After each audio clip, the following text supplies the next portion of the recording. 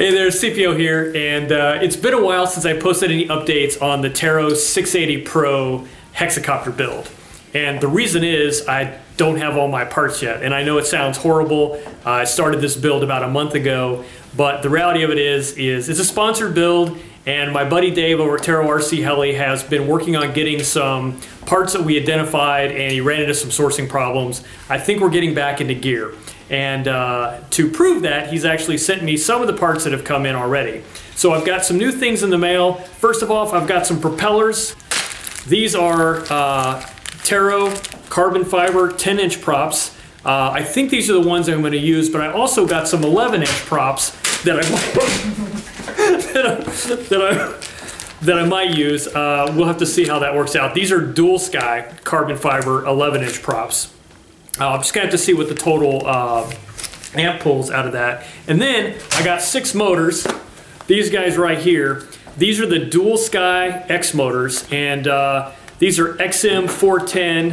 I don't know if you can see that, MR uh, 6.5s. So we went with six of these for this hexacopter build. And uh, I'm really impressed with the specs on the dual skies, and so uh, we decided to try these out uh, on this build, and I think they're going to work out fairly well. Uh, opening this package up, you can see it comes with some DualSky stickers and uh, a fairly well packaged motor. Um, let me see if I can get this bad boy out of here for you. So check this out. Look at the motor wires uh, attached to this thing. Basically, it's designed for a multi-rotor and uh, designed to get the motor far away from the ESC. So it comes with fairly long motor wires. Uh, and it's the flat pancake style designed for uh, high torque. Uh, so should be really interesting. I'm not sure if I'm going to take advantage of all of this length on this particular build or not. I was thinking I was going to put the ESCs underneath the motor on the arms.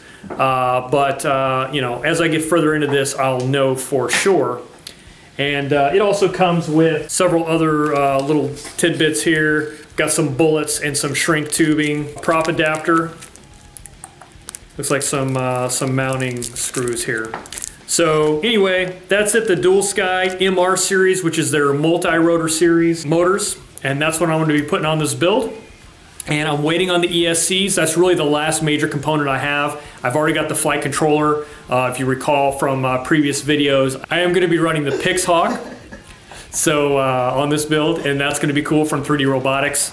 Uh, and then I'm going to have a full 3D uh, GoPro gimbal uh, but really the ESCs are the last things uh, that I'm getting and then I can get to work on this bad boy. So uh, anyway, I greatly apologize. It's been so long since an update on this build. Uh, I seriously haven't uh, forgot about the build. I haven't put it aside. Just been looking for Dave to get me the right parts for this that we've decided are going to make sense for the build and then uh, and those are starting to come through now. So I'm expecting to have the ESCs here in the next week or so although I've been waiting a long time for just the motor. So um, as much as I'd love to say I'll be kicking this thing off uh, in full force very soon, you just have to be patient with me and I will start the build uh, when I get all those parts. But anyway, thanks for watching. That's it. I'll catch you on the next one.